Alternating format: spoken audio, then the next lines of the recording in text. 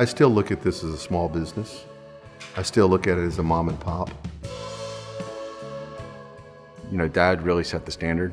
From the beginning, Dad has always worked behind the counter on the sales floor and working and greeting customers and understanding what they're looking for. Whether it's diamonds or watches or gold jewelry or precious color or brands, you know, everything we carry in our stores it has to fit.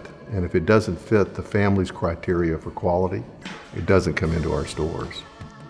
Ultimately, I guess you would say I'm in the celebration business.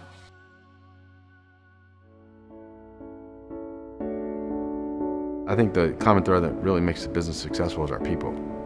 Uh, you know, our team members who are like family for us. I've often say that I've got certain people in this company that are more Lee Michaels than I'm Lee Michaels. Uh, they're as much a part of the culture of this company as I am. Our associates are here to celebrate life's occasions. They're not here for this birthday, but they're here for your birthday five and 10 years from now. Because we know that we can provide the best product and the best value. And that's what's so fun. Nobody really needs anything in our stores. Uh, it's more of a desire and celebration. And that's one of the things that I love about this business. You're celebrating life experiences with your clients. There's one thing that's never changed in this business in 40 years, and that is we've never had a sale. We've never had a sale because the pricing and what we sell needs to be something that's consistent and believable.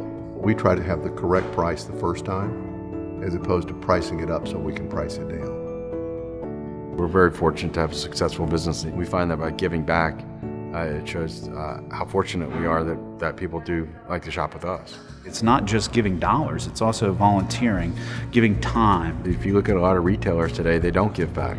The right thing to do is really to give back to the communities that have made us successful.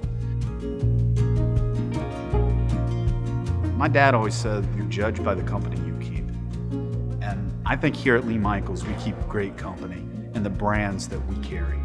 We have the very best brands in the marketplace. And I think when someone's looking to shop for jewelry, I think that's really important. The experience that I, I want for my customers to have is the same experience that I would want to have if I were coming in to spend my hard earned money.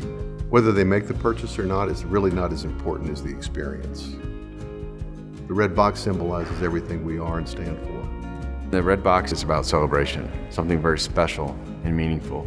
Our brand promises to do what is right for the customer. Our brand promises to offer beautiful merchandise at the best prices. When our customers think of jewelry, we want them to think of Lee Michaels.